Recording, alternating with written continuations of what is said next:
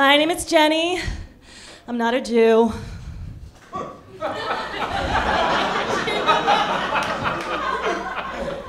I was raised Catholic, so I'm a slut.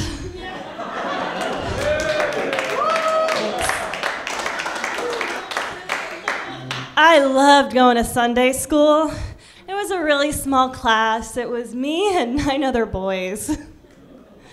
That made me the hot chick by default.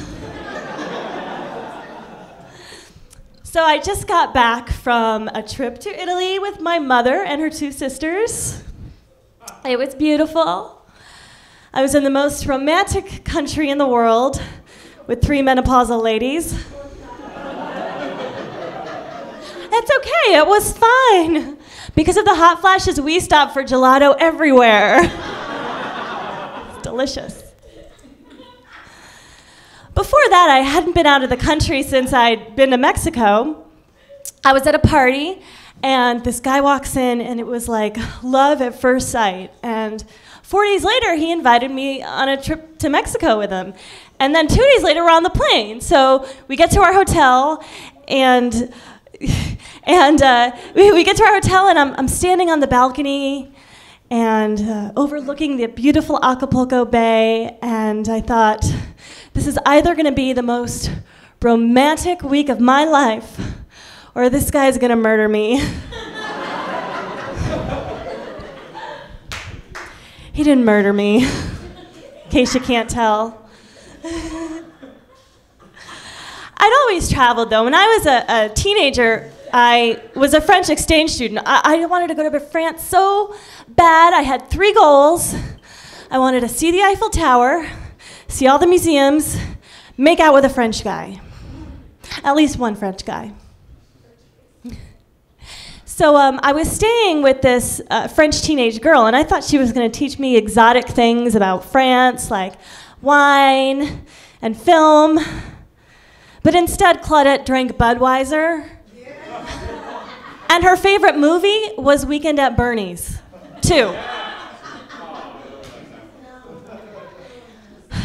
I, I didn't even make out with a French guy. He was Polish.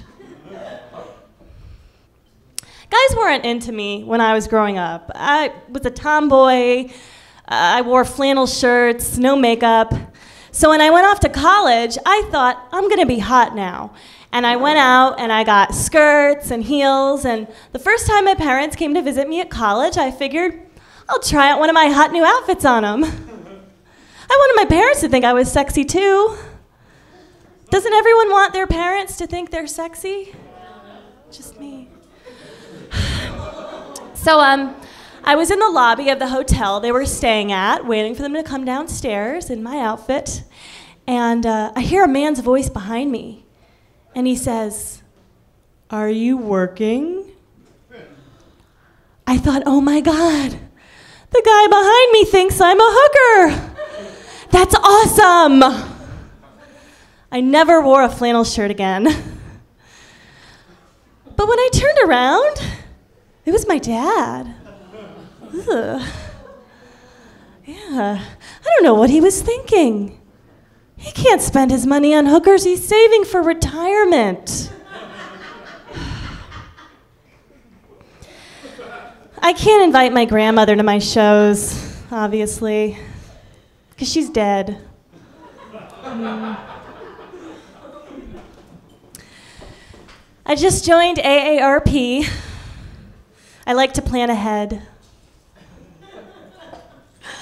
Uh,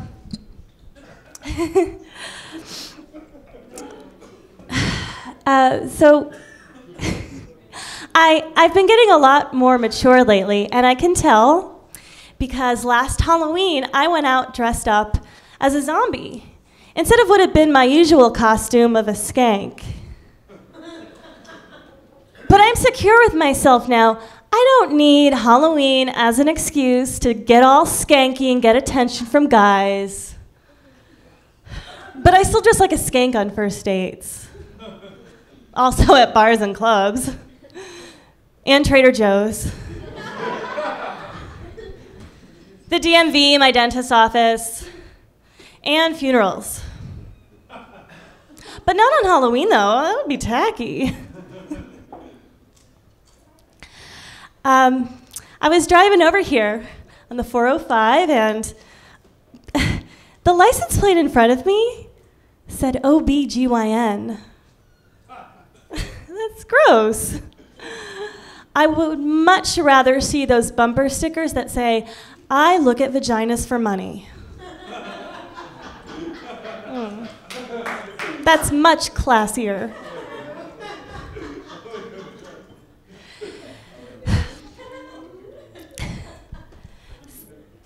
So I, uh, I know you can't tell by looking at me, but I like to drink alcohol. if I'm at a club and there's just a little bit of booze left in the glass, I'll pound it. My mother taught me never to waste. When I'm drunk, I hear her nagging voice in the back of my head Jeni, there are sober people in China.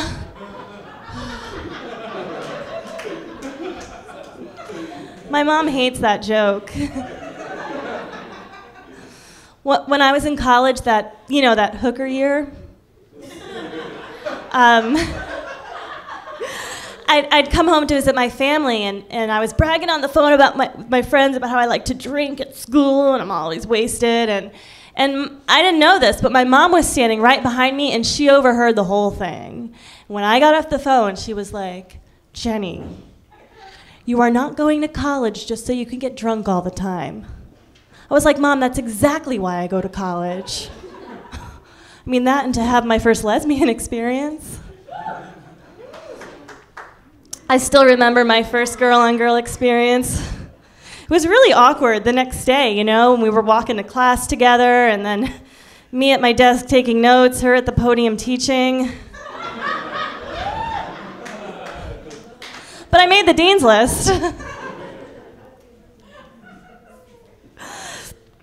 so, uh, my grandma, um, the dead one, we used to play Scrabble together when I was a little girl, and she kicked my ass. I used to be so proud of myself because I would spell words like dog and dot, and then it was her turn and she'd spell alpaca. It wasn't fair. I was six years old. I didn't know what an alpaca was. I'm still not sure. Anyway, then she'd added up the scores, right? Because she had to do it she claimed she was better at math than I was. Janie 3, Grandma 89, I win! Don't even get me started on our strip poker games.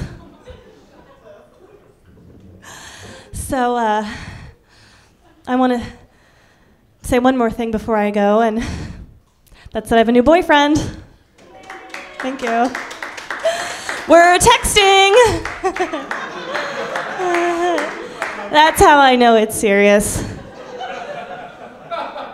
I like to send him messages like, I miss you so much, or I bet you're as hard as the bar exam. I'm not a lawyer. Thank you, I'm Jeni Bartiromo.